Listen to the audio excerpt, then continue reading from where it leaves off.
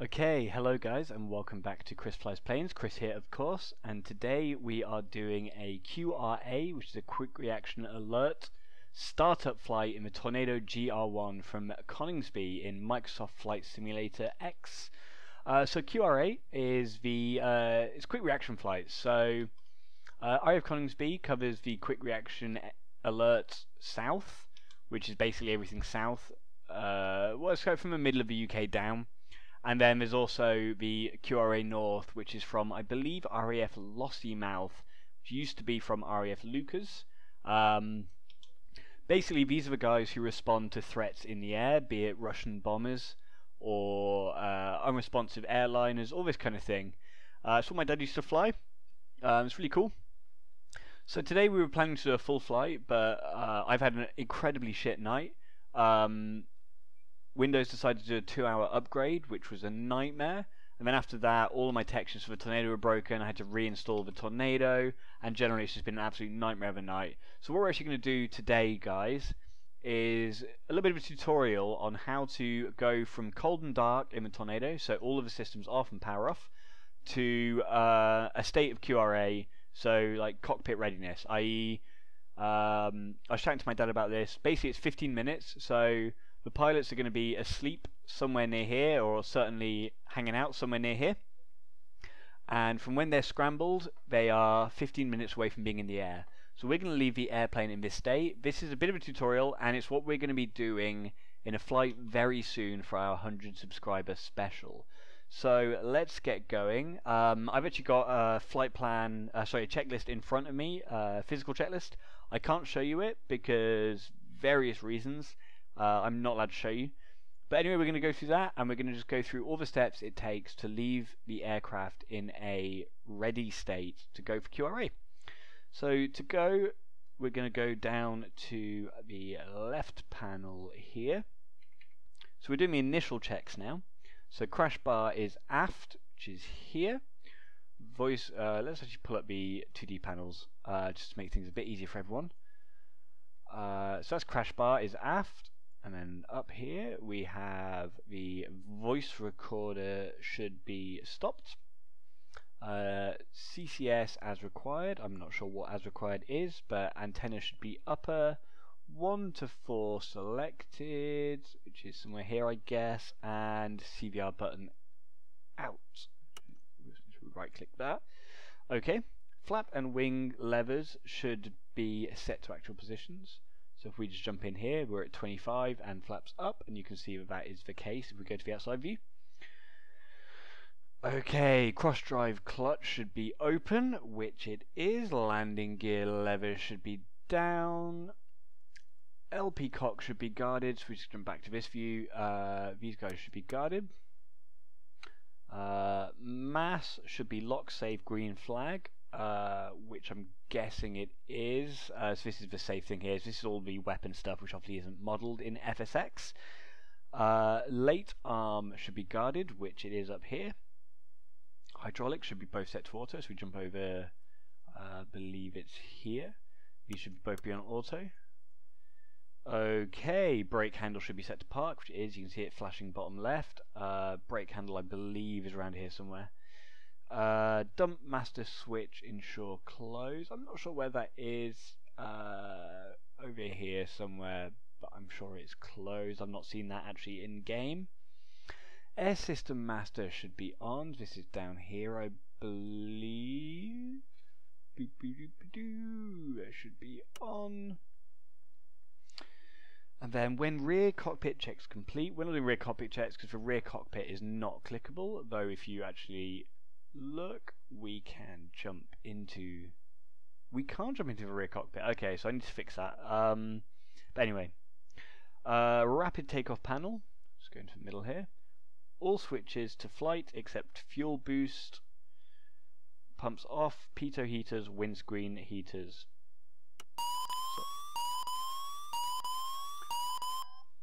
So on, on, these guys are off, and on, on, and on, I believe. That should be right. Throttle should be at HP shut, which if I just pull up this, you can see that they are all the way back. HP shut is here, then idle, max dry, max reheat, and combat. Uh, relights check, I'm not sure what that means, but I'm sure it's fine. Ignition should be off, which it is now. Generators should be both off with fail lights on. As you can see there, that is fine. APU switch as required. So we're going to be starting from ground power. So we're going to go to external AC all the way down. Uh, APU auto test, which is over here maybe. Okay. Uh, APU caption on CWP, that's fine. Nav light should be on. Uh, and flashing if we're starting the APU. Uh, this is over in this one here. I'm going to turn my head sideways so I can see this. Okay, that is set. ADI should be erecting, which is a funny word. I'm not sure how to do that in this model, so we're going to ignore that. So let's jump over to the next page here. Check with rear cockpit, then connect external power or start APUs. We're going to connect external power now. So I'm going to click this button here. Okay. We've got rear cockpit checks, which we're going to disregard. Then let me just consult my wee booklet here.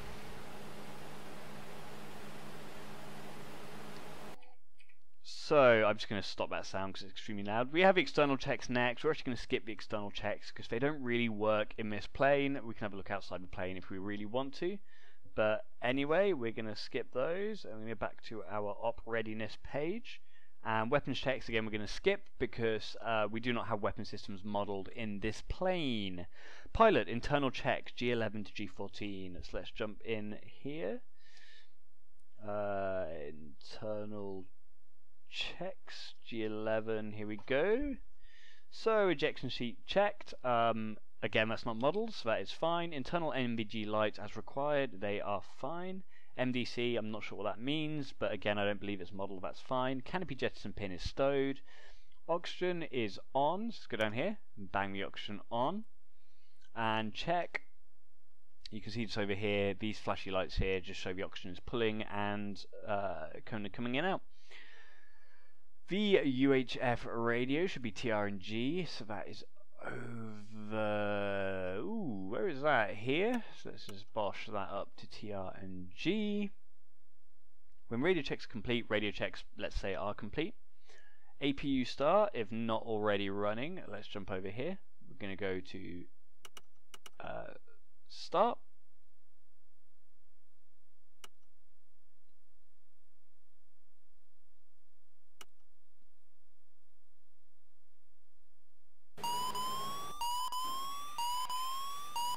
Okay. I'm gonna start up the ground power again, guys.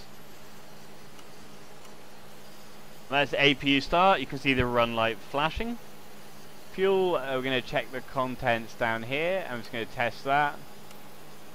That is absolutely fine. And then we're going to set the cross drive clutch to auto. Uh, left and right hydraulic should be in the white. Uh, sorry, uh, let's have a look at that. Should be uh, 50 to 110 bars. They're fine, I'm sure. Generators should uh, both be on, which they are. CWP should be AC DC, true, and generator lights out, which they are. Battery is fine. Let's go to the next page here. Gonna leave the canopy open here, guys, because uh, again we're leaving it in the mode where we can just jump in and go. Cross drive clutch should be set to open. Radar altimeter should be set on, which it is. HUD should be on, which it is. And TACAN should be set to TR.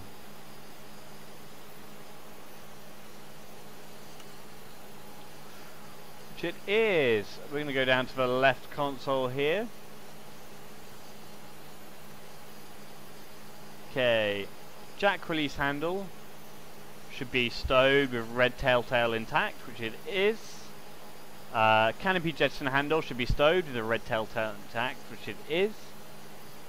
The emergency air brake should be guarded, which it is. Emergency flap guarded, which it is.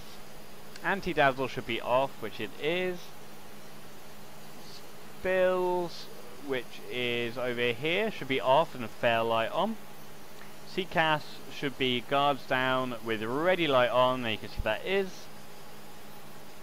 Wonder lamp should be checked and stowed, I'm not sure what that is, but I'm sure it's fine. Throttles should be uh, full movement, which they are, and then back to HP uh, shut. Okay. Emergency landing lever gear should be locked, which it is. Landing taxi lights should be off, which they are. The flat, slat, air brake and wing indicators are all showing fine. Flaps should be fully up, actually. Let's just put them fully up. Selective emergency jettison should be uh, both buttons out which they're fine. The anti-glare shield, up on the left here. Lift up indicator should be showing OL, which it is. TR should be norm with indicators blank, and that is. Hook light is out. AOA indicator is up here. Flag is away. HUD should be checked and set, which is fine. Accelerometer is fine. Approach progress indicator is fine. Flight refuel light is full and out. And standby compass is fine. Main instrument panel, landing gear is three green lights. NWS lights are out. MMS is set as required. As again missile systems, that's not an issue. Autopilot throttle light is out. Flight instruments condition, ADIs are wrecked. Uh, alt set zero.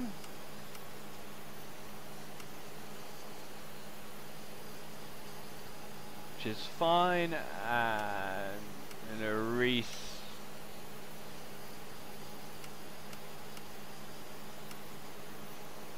Okay, I'm sure that's fine, it's not quite there. Trim gauge condition, selector indications are out, HSI modes, test modes as required and set to TAC.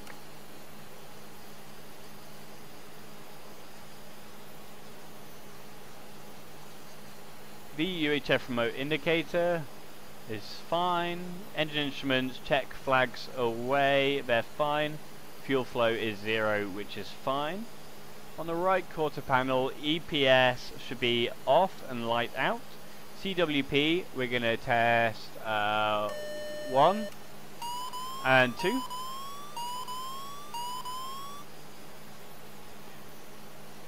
Brake pressure gauge should be ACC 150 bar minimum. Um, uh, that's fine, I checked that down there. Going to go down to the right console. ILS should be off. RHWR not sure what that is. Display selector all other switches as required. Let's have a look around here.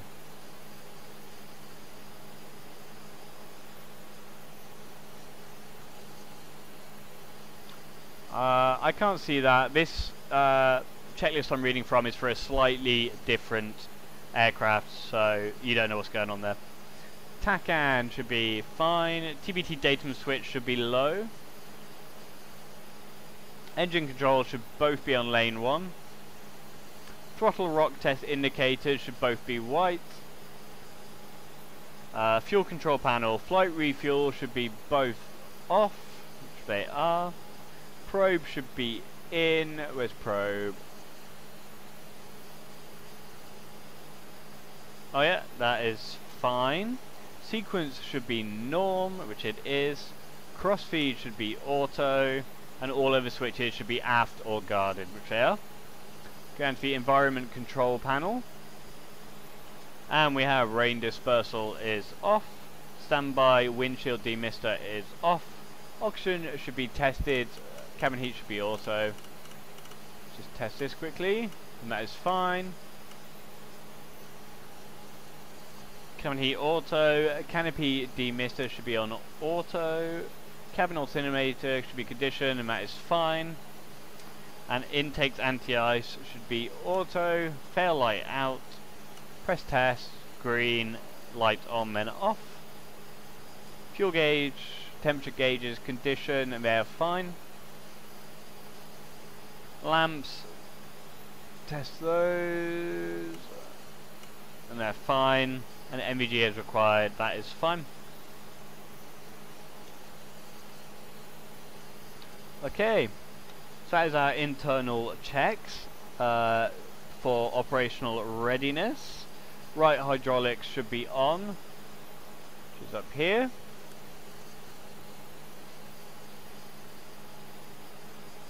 Navigation checks are fine, we're not doing those.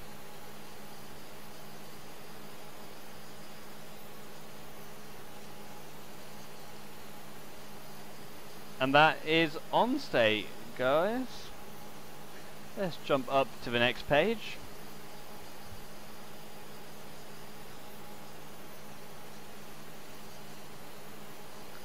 Okay. So guys, that is the process you need to do to put this plane in a op readiness state. So what I'm actually going to do here is just going to save this flight. Going to save this as Tornado, op readiness, EGXC, which is the ICAO for Coningsby.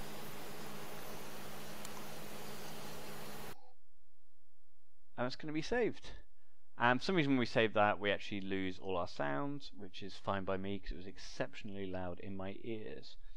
So just to go from here, so this is now considered op readiness state. So at this point, the plane is just sat on the apron, basically ready to go. So what we do from here, let's just do a very quick startup just to show you what we would then do. So if scrambled from check-in, which is where we're basically at. So if this plane is scrambled to do a QRA flight, so a quick reaction alert flight, ground crew would be alerted, SW noddy caps and fuse covers removed, ASRAAM protective covers and fuse covers removed. We're going to ignore that because that's nothing to do with the simulator. And then we would go down and start the right engine. So I believe ignition needs to be on for this. And then we would flick this over to right engine. Maybe need to be on auto here.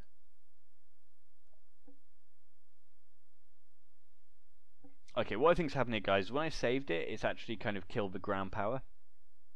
So anyway, what we're going to do here is uh, end the video now. So again, this is a tutorial on how to put a, a Tornado GR3 into a state of op readiness. This is going to be very useful for me on an upcoming video. Uh, I'm sorry we're not doing any flying today guys, honestly I did want to do a full flight and do everything, but it's just been an absolute nightmare tonight. I hope you enjoyed it anyway, and I hope you found it very informative. Uh, tomorrow we're going to record another flight where we're going to go from op readiness, uh, start the engines, and get up in the air as quick as possible. Again, as I said earlier, we're going to go 15 minutes from basically when the ground, uh, so pilot and nav are potentially in bed or you know in the whatever mess room, and then getting to the aircraft and taking off should be 15 minutes. So we're going to test that out. I hope you guys enjoyed this flight, and uh, I'll see you guys next time. Uh, if you enjoyed this and you want to see more videos, please hit the subscribe button and hit the like button. And most importantly, please do comment below. I love hearing from you guys, and I'd love to hear what I've done wrong or any questions you have. And yeah, I'll see you guys next time. Thank you very much.